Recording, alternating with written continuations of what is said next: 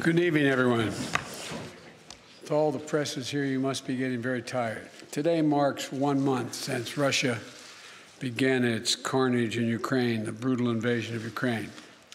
And uh, we held a NATO summit the very next day. At that time, my overwhelming objective in wanting that summit was to have absolute unity on three key important issues among our NATO and European allies. First was to support Ukraine with military and humanitarian assistance.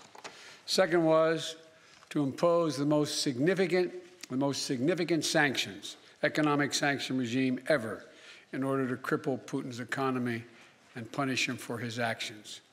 Third was to fortify the eastern flank of our NATO allies. Since your conversation with President Xi of China, have you seen any indications of action or lack of action from China that has led you to believe whether they will intervene and help Russia?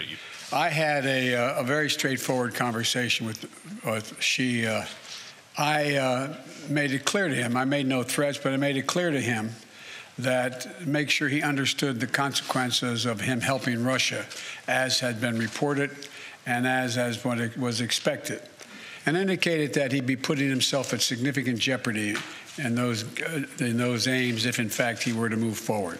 Do you think uh, that Russia needs to be removed from the G20? On the latter point, my answer is yes. That depends on the G20. Final question, right. Hey, look, wait, hold on a second, please. I was supposed to be an hour ago at the European Union meeting and to speak. No, I'm thanking you. Uh, so, so someone I haven't called on before. You. Sir, deterrence didn't work. What makes you think Vladimir Putin will alter course based on the action you've taken today? Let's get something straight. You remember, if you covered me from the very beginning, I did not say that, in fact, the sanctions would deter him.